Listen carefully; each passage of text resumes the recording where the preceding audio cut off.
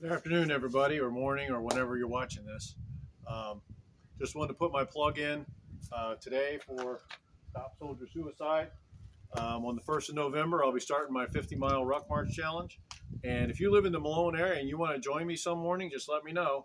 Uh, we can meet. Uh, we can meet somewhere, uh, probably around 6 a.m.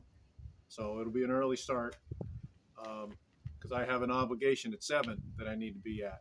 So anyway, uh, Stop Soldier Suicide is a great organization and they're doing a lot of good work. And for myself, I'm also going to challenge myself to do um, the Marine Corps Daily Dozen every day during the month of November.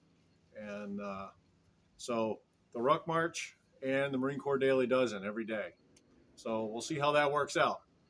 Anyway, I just wanted to say uh, hello to everybody and have a great weekend. What's left of it? It's uh, Saturday afternoon here, and it's a beautiful, beautiful fall day. But the temperature has been dropping since this morning.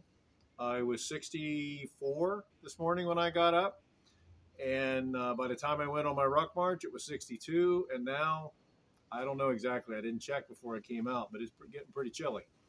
And uh, calling for snow tomorrow.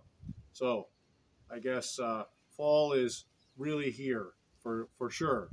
And uh, winter is coming right along. Anyway, take care, everybody.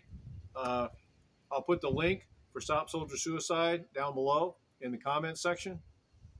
And, uh, and I'll also put the link for my Facebook page because uh, if you want to send a donation in my name, or you know, I don't see any of it. It goes to Stop Soldier Suicide. But if you want to send a donation in my name, I'll put the link down below for that, so that uh, you know, I, I get credit for raising some funds for uh, this month of fundraising. Thanks a lot, everybody. Take care.